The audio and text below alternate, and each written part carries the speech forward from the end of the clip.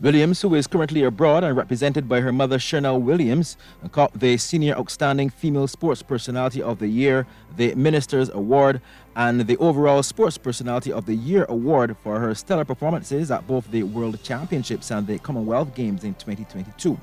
Meanwhile, West Indies skipper Kraigg Brathwaite got the Male Senior Outstanding Sports Personality Award, while Formula 2 driver Zane Maloney took the Top Outstanding Award for junior males, while golfer Emily Odwin was awarded the Top Junior Female Outstanding Prize. The chairman of the National Sports Council is Matt Fingal.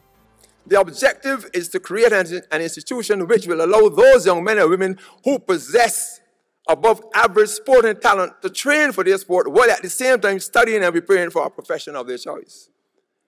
We are losing too many young sports persons when at around age, age 20, they cannot see any immediate financial benefit. So if we cannot get the financial benefit directly from sports, then let sports be the facilitator to that goal. And that's what the Academy will do. Minister of Sports, Youth and Community Empowerment, the Honorable Charles Griffith, says that one of his objectives is to develop community coaching to ensure that sporting talent is developed across the entire island. So we have started an initiative where we're looking at developing what we call community coaches. And, and Sports Council is leading the charge in relation to doing that because the National Sports Council is developmental in nature.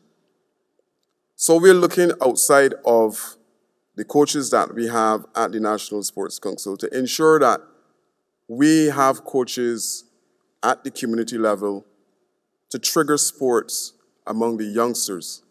So we have trained persons in football, we're in the process of doing road tennis, and the other disciplines will come on stream from time to time.